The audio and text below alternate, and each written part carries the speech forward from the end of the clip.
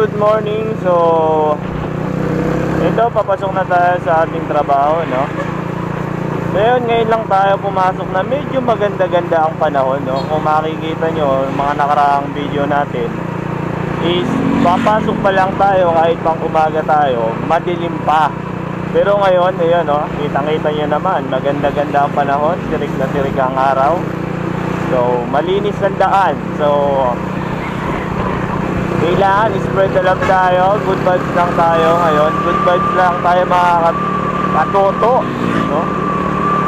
So yun, meron tayong mga nakikitang pauwi pa lang.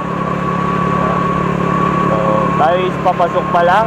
Naghahapon na naman tayong bagot nito, no? Ah, mga nakaraan hindi tayo nakapag-video kasi nga ah, pang ah, pang sagad-sagara ng ating trabaho, no? Matikim na rin para mag-video. Kaya pagod na pagod tayo, kaya pahinga-pahinga din. So yun, uh, shoutout sa ating mga riders dyan sa sa tabi-tabi. No? Ingat, ingat, ingat. So yun, um, ito ay isang uh, maikling video lang uh, pagbati sa inyo ni Gadox TV ng good morning. No? Dahil nandito na naman tayo sa trabaho. It's Tuesday. No?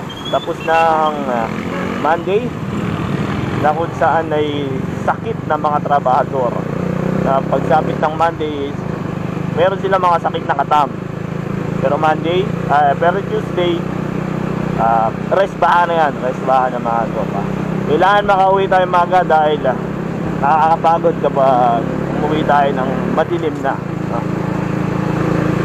So ayun uh, shout out sa ating mga tropa dyan walang sawang nanonood sa, sa mga nagsusuporta sa atin um, may mga nakikita tayo nagsusuporta sa atin is nasa abroad. No? So maraming maraming salamat mga top.